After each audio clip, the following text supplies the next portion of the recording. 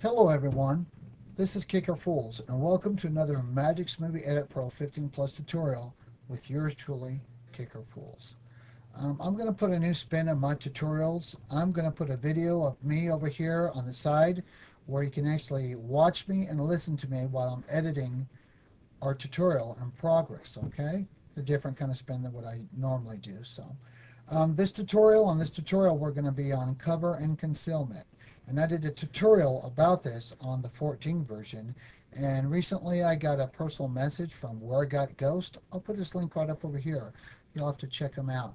He asked me if I could do a tutorial on covering concealment with the 15 plus. So that's what we're going to do, okay? Let's go ahead and first pick our movie. Click on the video wherever you have your video stored at. The video that I'm going to pick is a good friend of mine, Richard Jordmate. Here's his video. Double click on that and then you get this notice that it says that the active movie, the movie settings have a different setting than the movie that you picked. And it will ask you if you want to adjust it. I do not want to adjust, so I'm going to go ahead and click Do Not Adjust. Okay, there's my movie, and there's Richard right here. Let's go ahead and check out that movie real quick, what we want to work with. Hello, this is Jordan Knight in Melbourne, Australia. Have I got a competition for you? Okay, so that's about all I want to work with on this project. Okay, you see this razor blade right up over here on the tools? If you click on that, what you've done is spliced or you edit that movie. As you can see here, there's the section that we don't need. Okay, see this X? If you click on it, it disappears. So this is our finished project right here. Okay, we're going to have two different projects or two videos we need to work with on here. So we need to make a duplicate of the movie that you chose. So using your control keys, you need to hit control and D. That makes a duplicate of the same movie. And that's what we're going to be working with. And go ahead and move it down here to the bottom. Move it down a couple frames because you'll need some room to work with it. And now you're going to need a special effects mat. So what is a special effects mat? Well, it's a project that you made that you can drag down on your timeline in your video that gives you the desired special effect that you created. On this project, on this, um, let me bring this up. On this one that I made is going to be very difficult and very complex for some of us to do. All you need to do, I'll click on it here, it's just a, see on the monitor, it's just a big circle and a white dot. That's all you need. And I did this in paint. It's real easy to do. Um, so let's go ahead and go back and uh, let's go ahead and drag it down. If you left click, left click on it and drag it down to your timeline, we'll work with that later. Well, there's our special effect mat.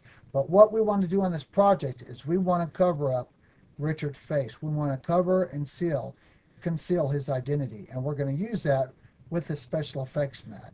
Okay, let's go up to the special effects mat, click on it, and go over here to effects. Okay, I want you to go ahead and go down here till you reach movement and effects. That's where we want to work off. There we go. Size and position and section and zoom. We don't need all this extra space. We're going to get rid of it. So go up here to get rid of fill screen. You don't need that. See this arrow that clicks down? Go ahead and click on it. And go up here to free proportions. That's going to give you the range so you can edit and splice out and cut what you don't want. So click on here, drag it down. Over here, we don't need all this stuff over here. I'm going to go through this kind of quick, okay? I think everybody gets the point here, right? There's our special effects mat. We can preview it. That's what we want. Okay, so what we're back to our picture here. What we want to do is we want to go ahead and distort right up here around Richard's face right here, or Jordmate's face right up here. So we'll go to Video Effects, click on it, and what we're going to hit is distortion. Uh, let's pick, not that one. I don't want to do that. Let's do this one below here. That's the one I want to work with, the second video. Hit distortion right here. And see this where it says all your different distortions that you have? What we're going to pick is mosaic. Now if you left click on it and you drag it to the right, look what happens. You pixel that out. And that's what you want. That's what you want right there. Let's see. You can go out as far as you want. That's good enough. Okay, now let's drag our special effects mat you just made right here.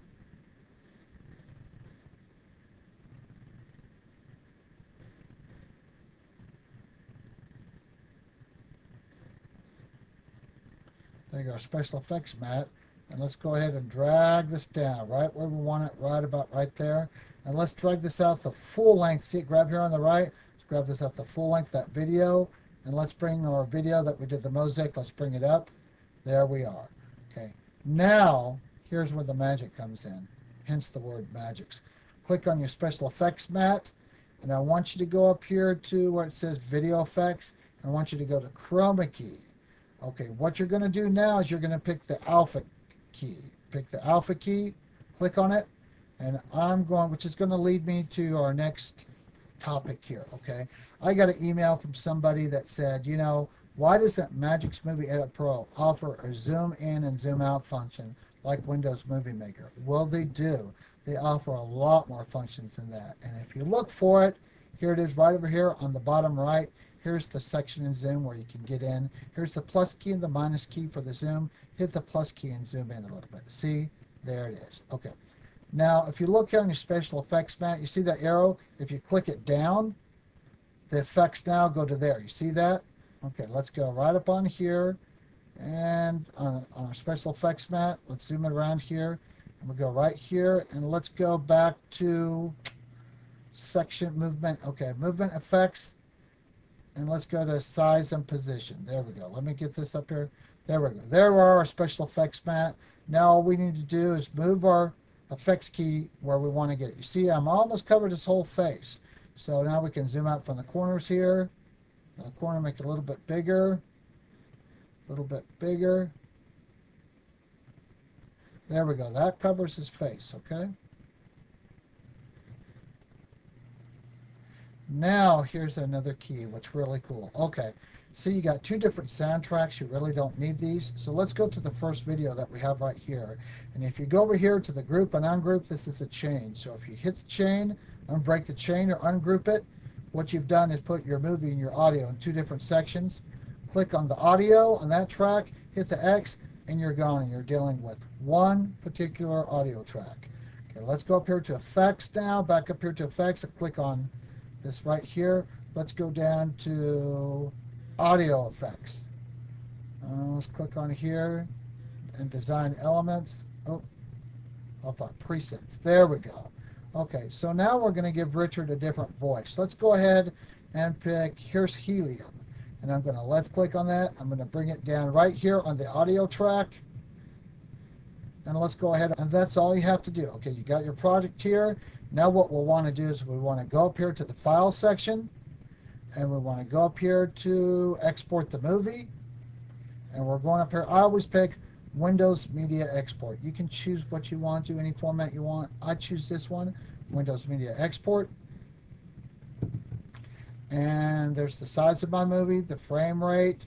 I got a 16.9 ratio and I'm going to put it in my videos under this date and all I have to do is click it, click OK and my movie will burn. It says I got some different settings that are different from my movie settings. I know that already because I chose not to adjust. Hit continue and your movie is burning. And that's basically all you got to do.